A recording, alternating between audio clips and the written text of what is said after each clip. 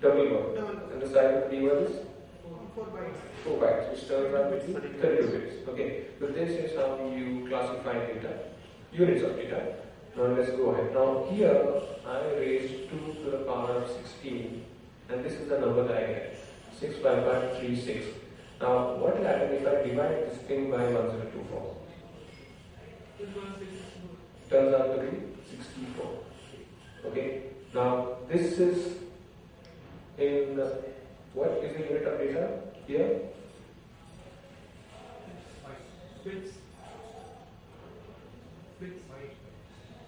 Earlier it was bytes, It is 64k. When I have bytes and I divide it by 1024, it becomes KB. So 64 KB. Okay. Now why did I do this? Because I want to understand what we mean by uh, when we say that a processor is 16 bit or 32 bit. Okay. So if I have a 16 bit processor and if I raise 2 to the power of 16, it turns out to be 64k. Now this is the size of my buses. Okay.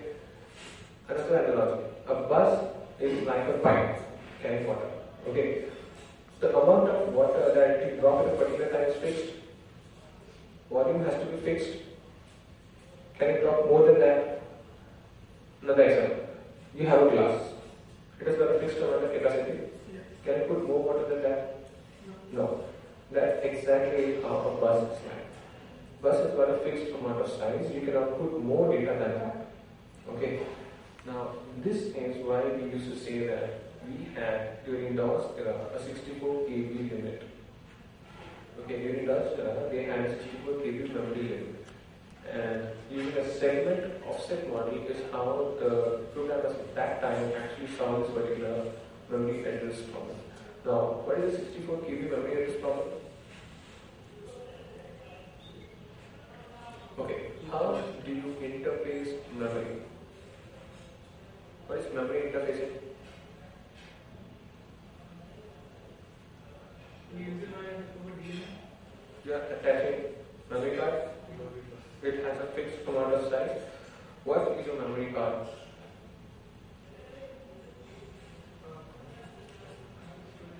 General Storage device. storage device, RAM, read uh, random memory. The data on that particular RAM stick is something that you attach.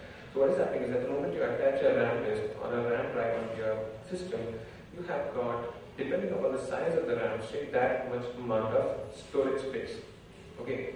Now my question is, how do you select a particular location on your RAM stick? Based on where the header of the disk is placed. Yes. So what we call it as is an offset. Okay. Everything, every memory location has got an offset. Offset is again depending it depends upon how many size of data you want. Usually it is one byte size. So the first byte will become the zeroth offset, second byte will become the second offset and so on.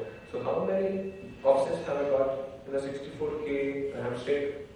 64. 64K. 64K offsets are got. Now what if I want to access more than that? You can't? I have to use a bigger number? Yeah. Can I denote or represent a bigger number using 64 KB size? See, my question is, this is a number which on dividing by 1024 I guess is 64 KB. Now what was this? This was the size or the capacity of my bus. Okay? Which means if I want to represent 64 KB of data, the size that I require what? 16 bits. Okay, 16 bits of bus size. If I want to add one more byte to it, can I represent it in uh, 16 bits? No, this is the maximum size that we can have. So, if I want to interface more than 64 KB of data, even if I do that, I am not technically able to access it. Why? Because in order to access a particular offset, you have to enter that particular offset's address, and my data bus is not capable of handling that size of data. Okay, so you can think of uh, the DOS memory model or the 16-bit memory model like an Excel sheet. Okay, where the rows, let's say, denote segments. and the columns they denote offsets. So let's say I'm selecting the first segment, it will contain how many offsets? 64k, that is the maximum size. If I want to access more than 64k, what I do is I've got two different registers having size 16 bits each.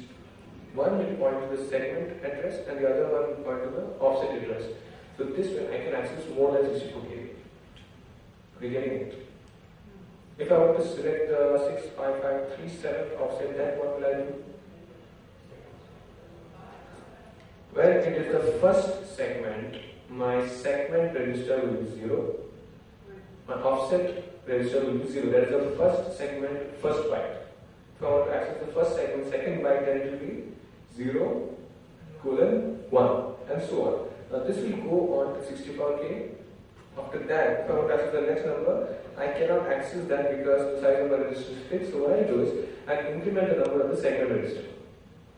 Okay. That way, I'm pointing to the next segment and the next memory offset, and so on. So this is how the DOS memory model is designed.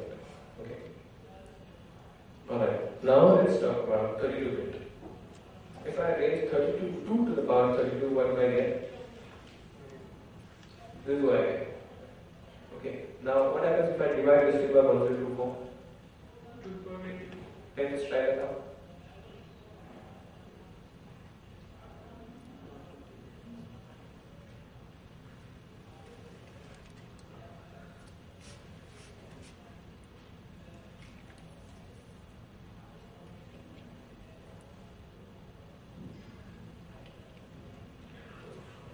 Divide it once by 1024.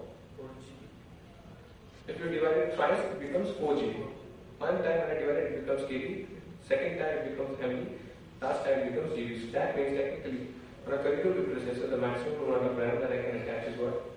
4 GB. Because beyond that, the processor doesn't access anything. Now, according to the programmers, they thought that 4 GB of RAM is a fair amount. So they never went for uh, segment offset model. Okay, that's why in DOS the memory model is called as segment offset model. At the same time, on a Windows machine, it is called as, uh, or a Windows platform, it is called as a flat memory model. But if you don't have any segments, it's entirely offsets.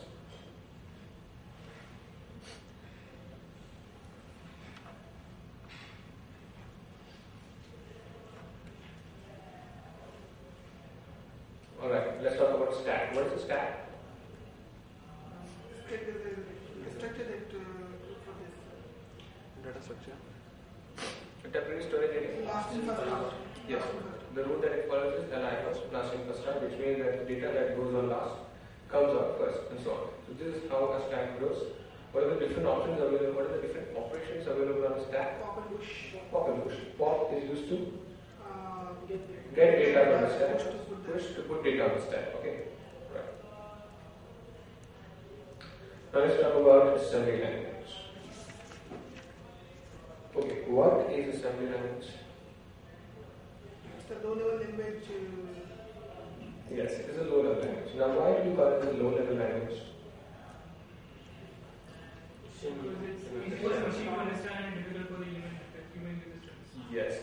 Now, if there's a low level language, any other different formats of language do we have?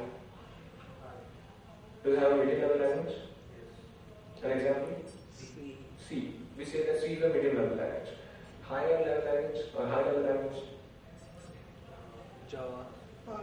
Java. Visual Basic, .NET based. Okay. Now, why do we call it as a higher level language and not low level language? What is the basic difference between them? Because they are converted to intermediate languages. Then again, Um, it depends upon the ease of use. For example, when you're developing in Visual Basic, for example, very simple example, when you're developing in Visual Basic, are you concerned about the content of your register, no. processor register? Are you concerned about that? No. At the same time, when you're programming in assembly language, are you concerned about that? Yeah. Yes. So basically, based on how concerned you are about your hardware, determines what level of programming language it is. Okay. Now, a higher level language, in a higher level language, you're only concerned about the programming aspect of it. For example, I I have to implement a for loop, I have to implement a while loop, and so on. Based on that, you are working at the IO. At the same time, you're working in an assembly language, you might need to see. You definitely have to understand what are the contents of the register, where is the stack pointing, and things like that. Memory management and stuff like that. So depending upon the ease of use, you or you divide programming language into different sections. In that case, why do we call C as a medium level language or an intermediate level language? Because we work on pointers. Is that? It has got pointers.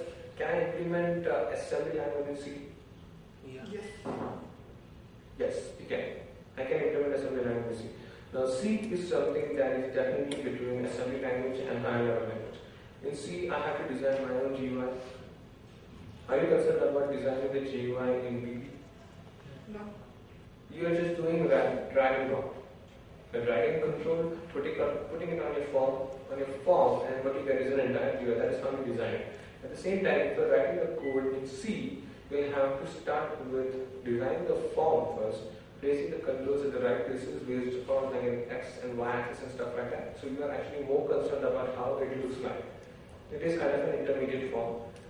Now, what is assembly language? What happens in assembly language? Uh, you define the register. You have to work at the processor Yes. level. Okay. Right. Now, what is an opcode? The operation code. Operation code. An example of opcode. Um, now these are add, move, and all are actually assembly language syntax or commands. Okay. The codes for the instructions. Yes. For a particular command, there has to be a byte representation of it. Now, that is what we call as an opcode. Now, if the processor hits a particular byte, it understands that this is this particular command in assembly language. Alright, from processor's point of view, let's look at it. It is only going to see a constant stream of ones and zeros. Okay, IP will point to some memory location. At that particular location, it is going to see data. Now, I can obviously divide data into ones and zeros. Can I take the first 8 bits and convert it into a byte? I'm taking the first 8 bits, converting it into a byte. Okay? I'm just representing it, that's it. It is still the same thing. I'm not modifying it, I'm not, I'm doing, I'm not doing anything to it. I'm just representing it, trying to understand, in, uh, I'm just trying to convert binary data, machine language into human readable code.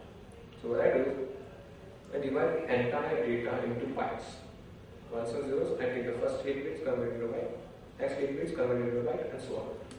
Now, the first byte has to be an instruction. Any examples of assembly language instructions? Move. Move. Add, move, Anything else? Jump. Jump. Just a single command without any parameters. Push. Return. Return will do what? Return. Okay. Automatically design. Yes. Now what happens when I hit a return? Stack is clear. Stack from stack. See, okay. Let's say that you are writing a very simple C program. Okay. And you have a new function defined in the C program apart from the main. Let's say that the function name is test. Inside your main, somewhere down the line, you are calling that particular function called as test. So during execution, where does the program start execution? From main. Somewhere down the line, it is going to hit the test function. Control has to be passed to the test. The test function, from there, has to execute. After that, what is going to happen? It will return It has to come back to main. Okay, how does this happen? to return the, uh, pointer is the address of the next execution. Yes, so what happens is that the moment I have to jump to a test function, what I do is, what the system does, it pushes the next addresses memory location onto the stack. Okay, so once the entire test function has been executed, it will pop that particular memory and jump to that address. This is the root cause of all buffer overflow attacks. Where what you do is you override the stack entirely, so when the system pops the particular return address, you continue. Alright, so that is the concept of an opcode. Um, now this is a very simple C program, very simple C program. What will it do exactly? What will be the output?